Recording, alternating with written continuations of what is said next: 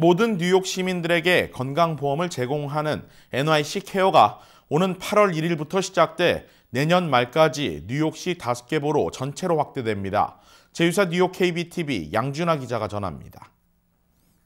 빌 드블라지오 뉴욕시장은 오는 8월부터 NYC Care 카드를 브롱스에서 발급한다고 밝혔습니다. 카드 발급 대상은 서류 미비자를 포함해 뉴욕시에서 6개월 이상 거주한 모든 시민입니다. NYC Care는 기존의 뉴욕시 대중건강보험 옵션이었던 Metro Plus 플랜을 강화한 것입니다. 가입을 하면 70여 개의 뉴욕시 Health and Hospital 시스템 소속 의사와 약국을 이용할 수 있습니다. 의사 진료와 건강 검진을 받을 수 있으며 24시간 고객 서비스를 통해 문의와 예약이 가능합니다. 드볼라지오 시장은 약국 운영 시간을 24시간으로 확대해 환자들이 시간에 제한받지 않고 언제든 약을 구할 수 있게 하겠다고 밝혔습니다.